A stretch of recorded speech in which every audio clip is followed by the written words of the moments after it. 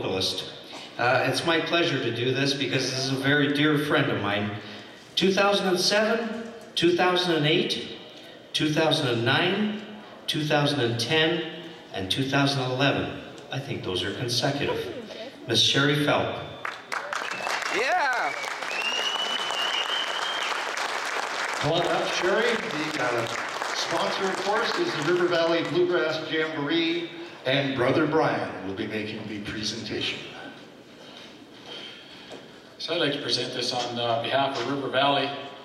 Uh, I've watched Sherry sing and, and uh, play banjo for years, and uh, just, you know, certain voices can physically sing, and then there's certain voices that can portray a, uh, the feelings with that song.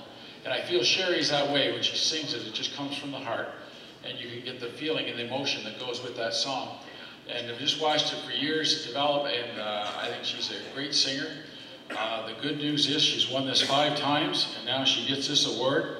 The bad news is she started on banjo awards now, and uh, I just heard this just through the grapevine that she's taking mandolin and guitar lessons as well. So the rest of you better uh, start to worry. But uh, Sherry, you deserve this honor, and very honored to present it to you.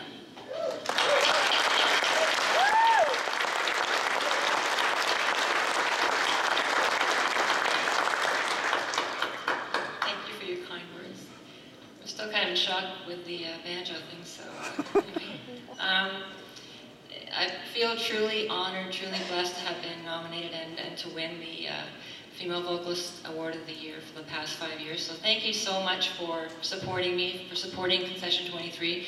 We really appreciate uh, all your kind words and uh, coming out to see the shows and so on. So thank you very much.